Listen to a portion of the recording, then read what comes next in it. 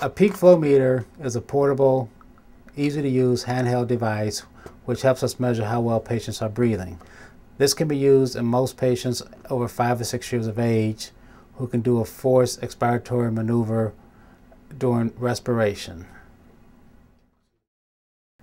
We can use the peak flow meter to see how well the patient is doing when they come in for acute visits or doing regular office visits.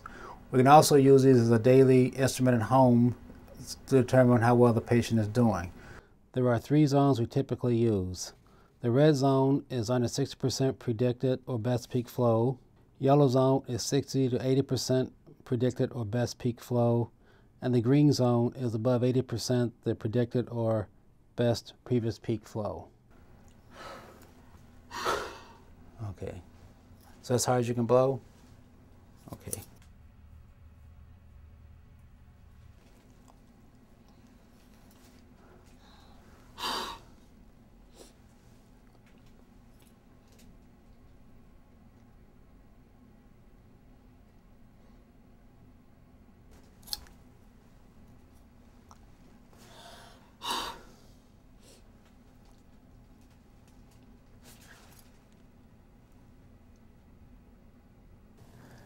Peak flow measurements should be used for patients over five years of age. As we can see, Hannah is in the yellow zone today, which means we may need to modify her asthma treatment plan.